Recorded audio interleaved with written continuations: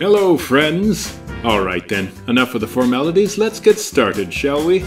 This is a house cat, a Felis catus, or rather, a common, uh, domesticated feline. Well, sort of. Oh, my heavenly stars, it's a kitty! That's right, Barbara, but not just any kitty. Ooh, tell me more, tell me so much more, Ken. Will do. For starters, as a hobby, this kitty loves to spend much of her time making gorgeous floral arrangements. I mean, just look at that petunia bouquet. Beautiful.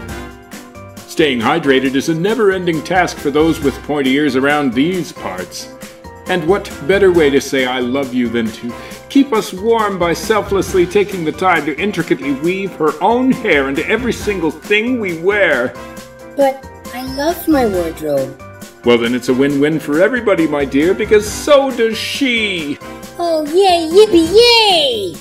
You said it, Barbara. And each night when the day is done, she heads straight for one of these. A coffin with removable shelves?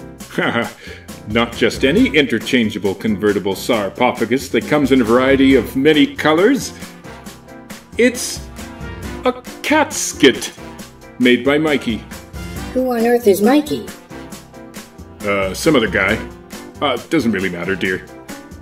Hey, Nito, this one matches all my shoes and beachwear.